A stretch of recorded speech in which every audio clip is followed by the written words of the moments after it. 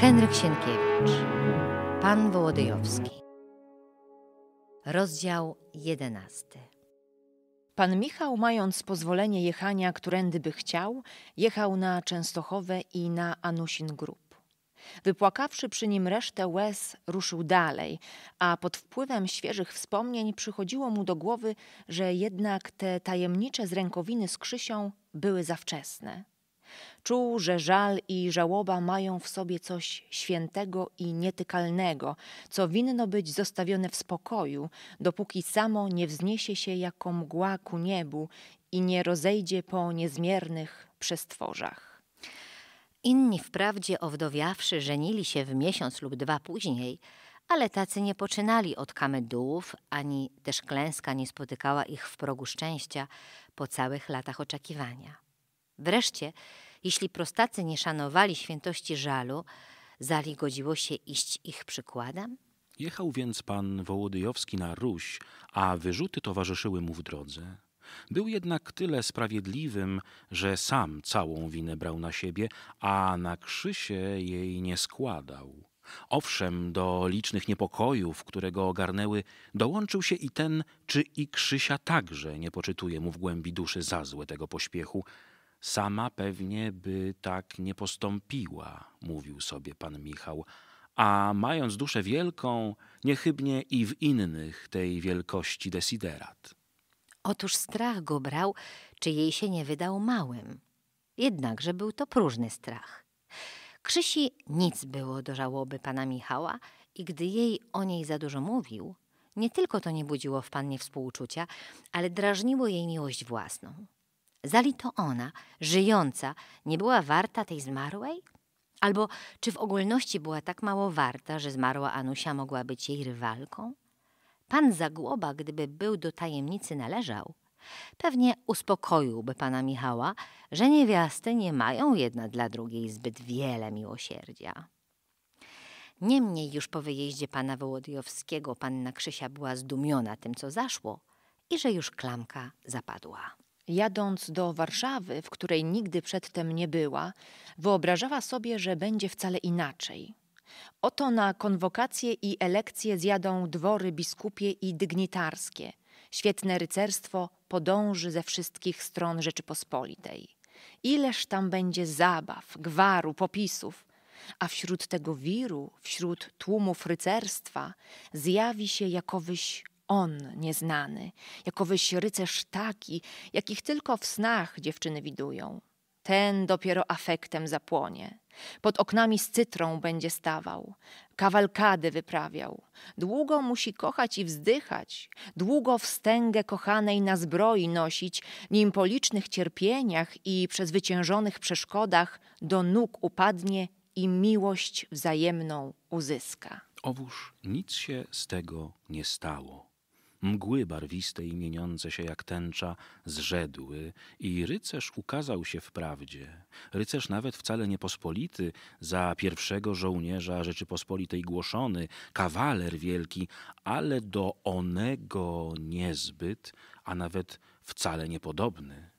Nie było też kawalkat i na lutni grania, ni turniejów, ni popisów, ni wstękna zbroi, ni gwaru rycerstwa, ni zabaw, ni tego wszystkiego, co jako sen majaczy, jako cudowna bajka na wieczornicy ciekawi, jako zapach kwiatów upaja, jak ptasia ponęta nęci. Od czego płonie twarz, bije serce, drży ciało. Był to dworek za miastem. W dworku pan Michał, po czym zdarzyła się konfidencja i już. Reszta przepadła, znikła, jak znika miesiąc na niebie, gdy chmury go zakryją. Gdyby to jeszcze ten pan Wołodyjowski był przyszedł na końcu bajki, przecie byłby pożądany. Nieraz Krzysia, rozmyślając o jego sławie, o jego zacności, o jego męstwie, którego chlubą Rzeczpospolitej, a postrachem jej nieprzyjaciół uczyniło, czuła że jednak miłuje go wielce. Zdało jej się tylko, że ją coś ominęło, że ją spotkała pewna krzywda, trochę przez niego, a raczej przez pośpiech. Tak więc ów pośpiech zapadł obojgu ziarnkiem piasku na serce, a że byli coraz dalej od siebie, więc ziarnko owe zaczęło im nieco dolegać. Nieraz w uczuciach ludzkich coś się tak nieznacznie, jakoby maluchny cierń kłuje i z czasem albo się goi, albo też jątrzy coraz bardziej i choćby największą miłość bólem i goryczą zaprawia. Ale między nimi było jeszcze do bólu i goryczy daleko. Szczególnie dla pana Michała słodkim i uspokajającym była Krzysia wspomnieniem i pamięć jej tak szła za nim, jako cień idzie za człowiekiem. Myślał też, że im bardziej się oddali, tym ona stanie mu się droższą, tym bardziej za nią wzdychał i do niej tęsknił będzie. Jej ciężej czas upływał, bo ketlingowego dworu od czasu wyjazdu małego rycerza nikt nie odwiedzał i dzień za dniem przechodził w jednostajności i nudzie. Pani Stolnikowa wyczekiwała męża, licząc dnie do elekcji i o nim tylko mówiła. Basia osowiała bardzo. Sprzeciwiał się jej pan Zagłoba, że odpaliwszy Nowowiejskiego, teraz za nim tęskni. Jakoż wolałaby była, żeby choć on przyjeżdżał, ale on sobie rzekł, nic tu po mnie, i wkrótce za Wołodyjowskim wyruszył. Pan Zagłoba także się z powrotem do Skrzetuskich wybierał, mówiąc, że mu za basałykami tęskno. Wszelako ciężkim będąc, z dnia na dzień wyjazd odkładał. Basi zaś tłumaczył, że ona powodem mitręgi, bo się w niej kocha i o jej rękę starać się zamierza. Tymczasem dotrzymywał towarzystwa Krzysi, gdy pani Makowiecka wyjeżdżała z Basią do pani podkomorzyny lwowskiej. Krzysia nigdy im nie towarzyszyła w tych odwiedzinach, bo pani podkomorzyna mimo całej swej zacności znosić Krzysi nie mogła. Atoli często, gęsto i pan Zagłoba wyruszał do Warszawy, gdzie w grzecznej kompanii czas trawiąc, wracał nieraz pijany dopiero drugiego dnia i wówczas Krzysia zostawała zupełnie sama, trawiąc samotne chwile na rozmyślaniach trochę o panu Wołodyjowskim, trochę i o tym, co by się mogło zdarzyć, gdyby owa klamka nie była zapadła raz na zawsze, a częstokroć.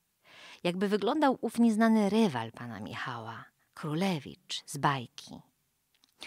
Raz więc siedziała pod oknem i patrzyła w zamyśleniu na drzwi komnaty, na które padał okrutny blask zachodzącego słońca, gdy nagle dzwonek od sani dał się słyszeć z drugiej strony domu.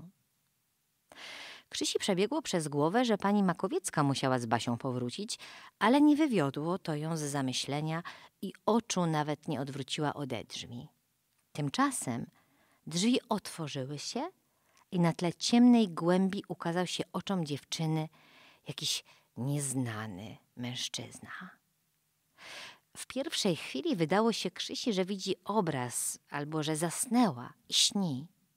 Tak cudne stanęło przed nią zjawisko. Nieznajomy był to młody człowiek, przybrany w czarny strój cudzoziemski, z białym koronkowym kołnierzem spadającym aż na ramiona. Krzysia w dzieciństwie jeszcze widziała raz pana Arciszewskiego, generała artylerii koronnej, przybranego podobnie, który też z powodu takiego stroju, jak również dla nadzwyczajnej swej piękności, długo jej został w pamięci.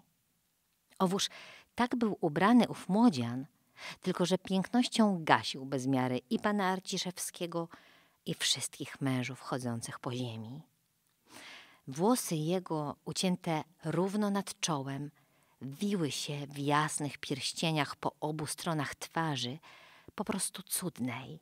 Brwi miał ciemne, wyraźnie rysujące się na białym jak marmur czole.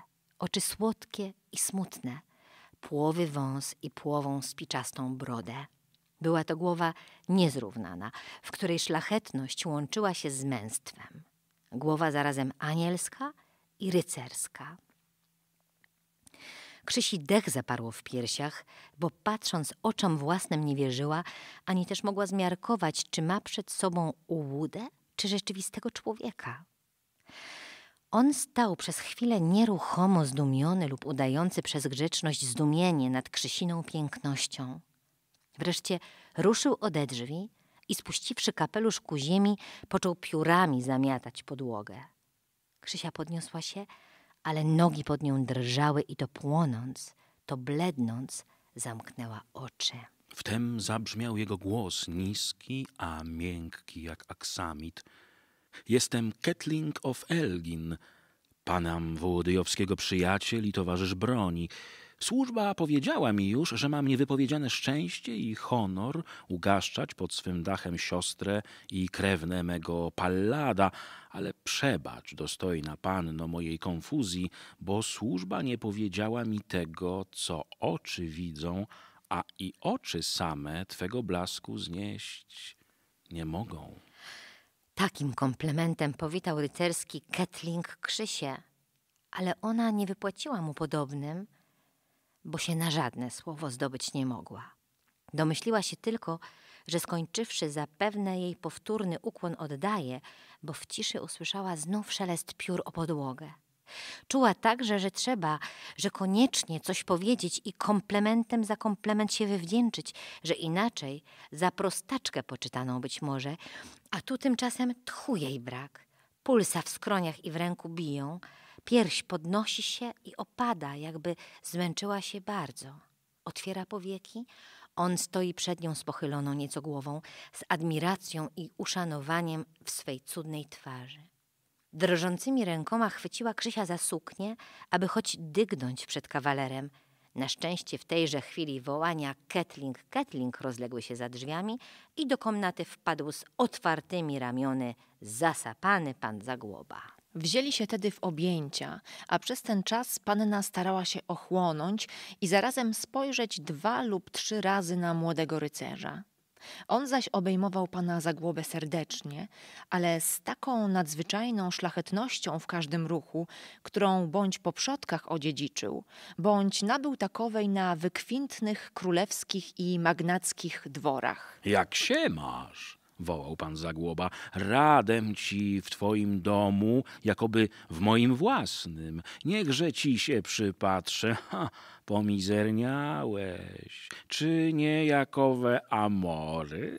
Dali Bóg pomizerniałeś. Wiesz, Michał do chorągwi wyjechał, o, toś wybornie uczynił, przyjechawszy.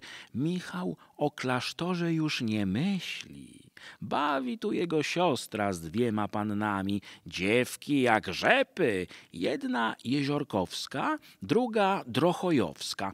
Dla Boga, panna Krzysia tu jest. Przepraszam, wać pannę, ale niech temu oczy wylezą, kto wam gładkości zaprzeczy, a na wać paninej już się ten kawaler poznać musiał. Ketling skłonił po raz trzeci głowę i rzekł z uśmiechem. Zostawiłem dom Cechhausem, a zastałem go Olimpem, bom boginię ujrzał na wstępie.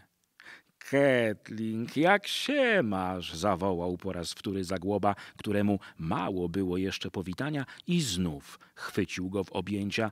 Nic to, mówił, hajduczkaś jeszcze nie widział. Jedna gładka, ale i druga miód, miód.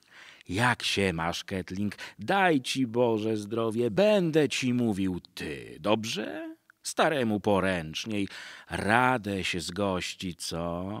Pani Makowiecka tu zajechała, bo o gospodę było czasu konwokacji trudno, ale teraz już łatwiej i pewnie się wyniesie, bo z pannami w kawalerskim domu mieszkać nie wypada, żeby ludzie krzywo nie patrzyli i żeby jakowego gadania nie było.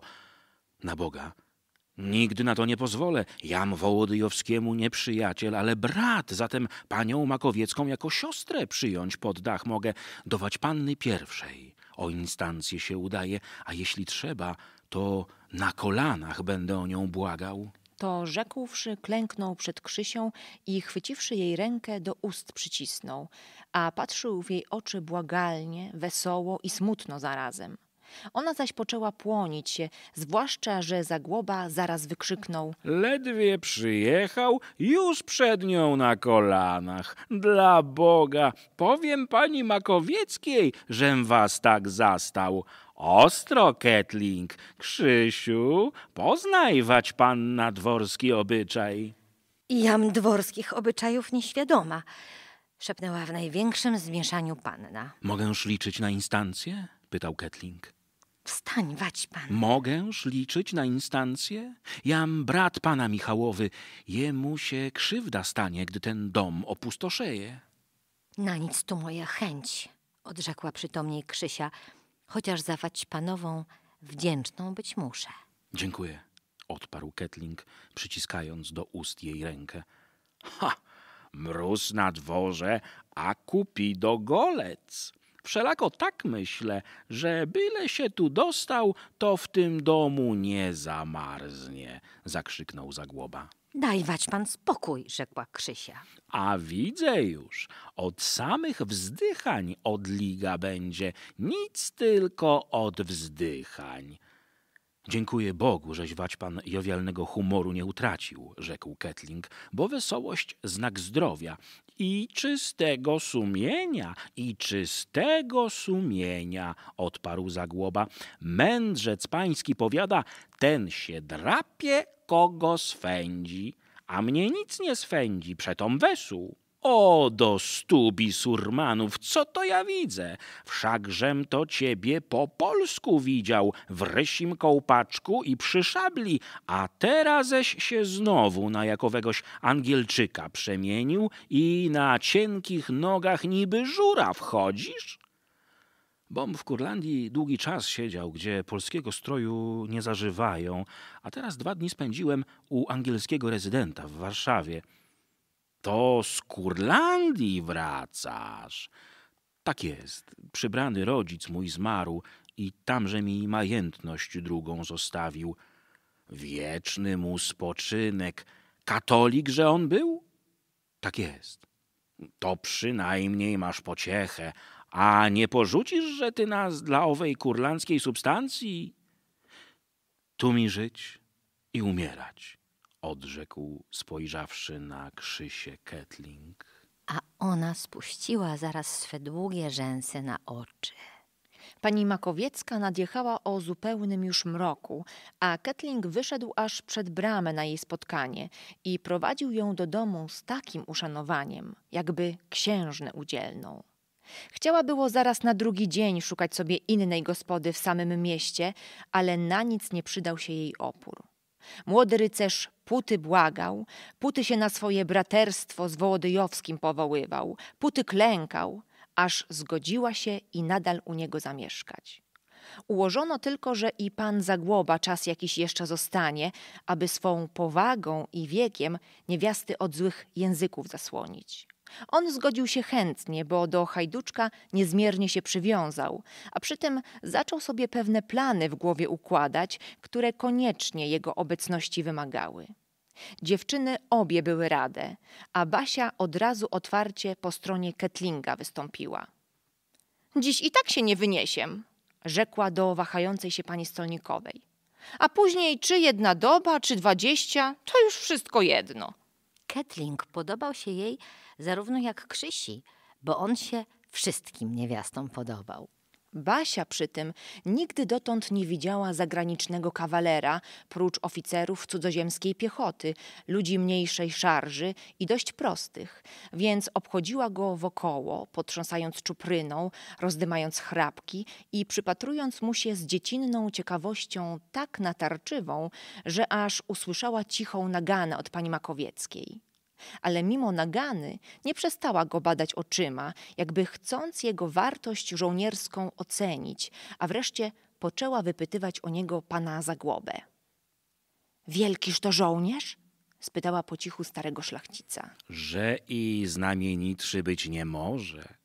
Widzisz, eksperiencję ma niezmierną, bo od czternastego roku życia przeciw Angielczykom, Rokoszanom służył przy prawdziwej wierze stając. Szlachcic też to jest wysokiego rodu, co i po jego obyczajności snadnie poznać możesz. Wać pan go widział w ogniu? Tysiąc razy. Będzie ci stał, ani się zmarszczy. Konia czasem po karku poklepie i o afektach gotów gadać. Zali moda o afektach wtedy rozmawiać, co? Moda wszystko czynić, przez co się kontempt dla kul okazuje. No, a wręcz w pojedynkę równie on wielki? Ba, ba, szerszeń jest, nie ma co gadać. A panu Michałowi by wytrzymał? A Michałowi by nie wytrzymał. Ha! zawołała z radością dumna Basia. Wiedziałam, że nie wytrzyma. Zaraz pomyślałam, że nie wytrzyma. I poczęła klaskać w ręce. Także to przy Michale się oponujesz? spytał Zagłoba. Basia potrząsnęła czupryną i umilkła. Po chwili dopiero ciche westchnienie podniosło jej piersi. E, co tam? Radam, bo nasz. Ale to sobie zauważ i zakonotuj, hajduczku, rzekł Zagłoba, iż jeśli na polu bitwy trudno o lepszego niż Ketling, tedy dla niewiast jeszcze on bardziej perikulos, które się w nim dla jego urody zapamiętale kochają. Praktyk też to i w amorach znakomity. Powiedz to wać pan Krzysi, bo mnie amory nie w głowie. Rzekła Basia i zwróciwszy się ku Drochojowskiej poczęła wołać. Krzysiu! Krzysiu, chodź no na słowo! Jestem, rzekła panna Drochojowska. Pan Zagłoba powiada, że żadna panna nie spojrzy na Ketlinga, żeby się zaraz w nim nie rozkochała. Ja już go obejrzałam ze wszystkich stron i jakoś mi nic. A ty, Zali, co już czujesz? Baśka, Baśka, rzekła tonem perswazji Krzysia. Spodobał ci się, co? Daj spokój, statkuj. Moja Basiu, nie powiadaj byle czego, bo właśnie pan Ketling się przybliża. Jakoż Krzysia nie zdołała jeszcze usiąść, gdy Ketling zbliżył się i spytał, wolno się do kompanii przyłączyć? Wdzięcznie prosim, odpowiedziała Jeziorkowska. Więc śmielej już spytam, o czym była rozmowa? O amorach, wykrzyknęła bez namysłu Basia. Ketling usiadł koło Krzysi. Przez chwilę milczeli, bo Krzysia zwykle przytomna i władnąca sobą, dziwnie jakoś stawała się nieśmiałą wobec tego kawalera, więc on pierwszy spytał. Zali w istocie o tak wdzięcznym obiekcie była narada? Tak, odrzekła półgłosem panna Drochojowska. Radbym nad wszystko usłyszeć wać panny mniemanie. Wybacz, wać pan, bo i śmiałości brak mi, i dowcipu. Tak też myślę, że ja bym to raczej od pana coś nowego usłyszeć mogła. Krzysia ma rację, wtrącił Zagłoba. Słuchamy. Pytaj pani, odpowiedział Ketling. I podniósłszy oczy nieco w górę, zamyślił się, następnie zaś, choć niepytany, począł mówić jakoby do siebie. Kochanie to niedola ciężka, bo przez nie człowiek wolny niewolnikiem się staje. Równie jak ptak z łuku ustrzelon spada pod nogi myśliwca, tak i człek miłością porażon nie ma już mocy odlecieć od nóg kochanych. Kochanie to kalectwo, bo człowiek jak ślepy świata za swoim kochaniem nie widzi. Kochanie to smutek, bo kiedyż więcej łez płynie, kiedyż więcej wzdychań boki wydają, kto pokocha, temu już nie w głowie ni stroje, ni tańce, ni kości, ni łowy. Siedzieć on gotów, kolana własne dłońmi objąwszy, tak tęskniąc żewliwie, jako ów, który kogoś bliskiego postradał. Kochanie to choroba, gdyż w nim, jako w chorobie, twarz bieleje, oczy wpadają, ręce się trzęsą i palce chudną, a człowiek o śmierci rozmyśla, albo w obłąkaniu za zjeżoną głową chodzi, z miesiącem gada, rad miłe imię na piasku pisze, a gdy mu je wiatr zwieje, tedy powiada nieszczęście i szlochać gotów. Tu Ketling umilkł na chwilę.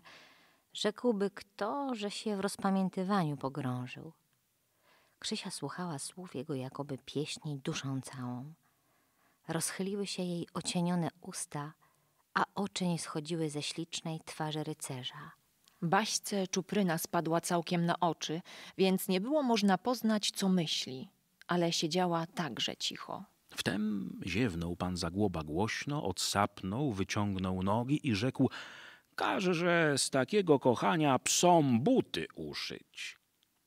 A jednak, zaczął znów rycerz, jeśli miłować ciężko, to nie miłować ciężej jeszcze. Bo kogoż bez kochania nasyci rozkosz, sława, bogactwa, wonności lub klejnoty? Kto kochanej nie powie, wolę cię, niźli królestwo, niźli sceptr, niźli zdrowie, niźli długi wiek?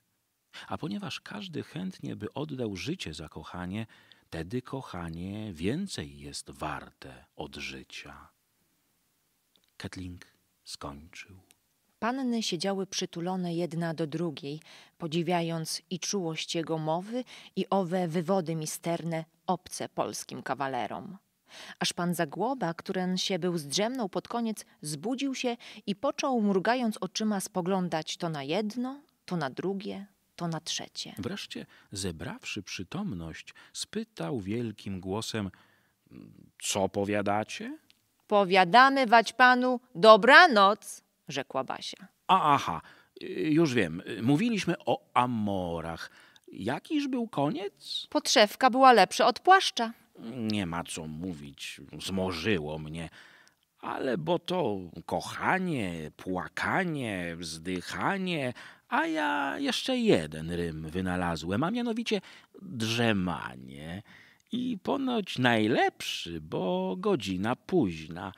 Dobranoc całej kompanii i dajcie mi już za morami spokój. Boże, Boże, puty kot miałczy, póki sperki nie zje, a potem się oblizuje. Ja byłem w swoim czasie kubek w kubek do Ketlinga podobny, a kochałem się tak zapamiętale, że mógł mnie baran przez godzinę z tyłu trykać, nimem się spostrzegł. Wszelako pod starość wolę się wywczasować dobrze, zwłaszcza gdy polityczny gospodarz nie tylko odprowadzi, ale przepije do poduszki. Służę waszmości, rzekł Ketling, Chodźmy, chodźmy. Patrzcie, jak to już miesiąc wysoko. Pogoda na jutro wyiskrzyło się, a widno jak w dzień. Ketling o afektach gotów wam całą noc prawić, ale pamiętajcie, kozy, że on zdrożony. Niezdrożonym, bom w mieście dwa dni wypoczywał. Boję się tylko, że wać panny nienawykłe do czuwania. Prędko by noc zeszła na słuchaniu Waćpana, rzekła Krzysia. Nie masz tam nocy, gdzie słońce świeci, odpowiedział Ketling. Po czym rozeszli się, bo istotnie było już późno. Panny sypiały razem i gawędziły zwykle przed snem długo, ale tego wieczora nie mogła Basia Krzysi rozgadać, o ile bowiem pierwsza miała ochotę na rozmowy, o tyle druga była milcząca i odpowiadała półsłówkami. Kilkakroć też, gdy Basia, mówiąc o Ketlingu, poczęła wymyślać koncepta, trochę się z niego naśmiewać, trochę go naśladować, Krzysia obejmowała ją z niezwykłą tkliwością za szyję, prosząc, by zaniechała tej pustoty. On tu gospodarz, Basiu, mówiła. My pod jego dachem mieszkamy. I to widziałam, że cię polubił od razu. No skąd wiesz? pytała Basia. Bo kto by cię nie polubił? Ciebie wszyscy kochają. I ja. Bardzo. Tak mówiąc, zbliżyła swą cudną twarz do twarzy Basi i tuliła się do niej i całowała jej oczy. Poszły na koniec do łóżek, ale Krzysia długi czas zasnąć nie mogła. Ogarniał ją niepokój. Chwilami serce biło jej tak mocno, że obie ręce przykładała do swej atłasowej piersi, aby jego bicie potłumić. Chwilami również, zwłaszcza gdy próbowała przymknąć oczy, zdawało się jej, że jakaś piękna jak sen głowa pochyla się nad nią, a cichy głos szepce jej do ucha. Wolę cię niźli królestwo, niźli sceptr, niźli zdrowie, niźli długi wiek i życie.